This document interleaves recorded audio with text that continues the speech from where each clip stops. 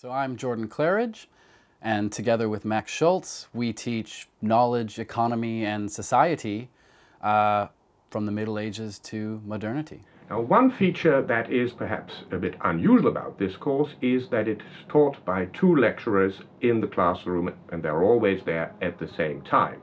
So there is an opportunity for students to identify also differences in approach um, of two teachers, or two professors, who come from different ends of the discipline. One of us is a medievalist, the other one is a modern economic historian. So this course basically has two guiding questions. How has technology changed the way we live? And how have humans managed to raise levels of productivity in the very long run in a range of different environments? We pursue those questions by studying First of all, the production and diffusion of knowledge. Second, the translation of such knowledge into technical change. And third, the relationship between technical change on the one hand and economic development over the long run on the other.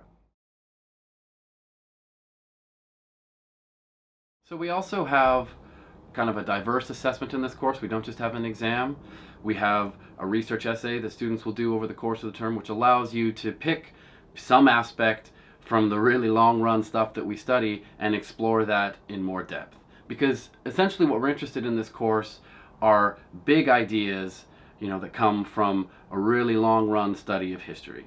So, for example, we could talk about how the introduction of the stirrup in about the 8th century led to the creation and diffusion of feudalism, right? So what you have is a relatively small and cheap piece of technology. It's a stirrup that allows you to stand up on a horse, right? But what this does in turn is allows warriors to wear heavier armor and then be more successful in battle using different kinds of weapons. And this revolutionizes warfare creates an entirely new social dynamic that spreads across Eurasia.